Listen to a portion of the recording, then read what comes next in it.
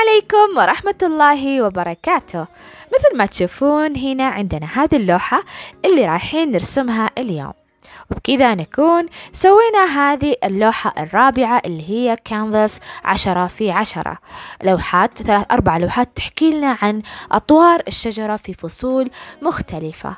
ورايحين نعلقها في جدار أحد الغرف وراح نسوي لها ديكور خلفي. إن شاء الله راح نشوفها في فيديو آخر. خلونا نشوف إيش الألوان اللي استخدمناها في هذه اللوحة وكيف رسمنا هذه اللوحة البسيطة. وإذا عندكم أي استفسار أو أي تعليق اكتبوا لي تحت في التعليقات. لا تنسون تشتركون في القناة وتفعلون زر التنبيهات وتحطوا لي لايك تقديرا لتعبي ومجهودي. إن شاء الله. نلتقي في فيديو قادم. طبعا الفيديو هذا راح يكون فيه مكتوب جميع الألوان اللي استخدمتها والأشياء اللي سويتها وإن شاء الله يكون كله واضح ومفهوم. وأتمنى لكم حياة سعيدة ونلتقي إن شاء الله في فيديو قادم مشاهدة ممتعة. باي باي.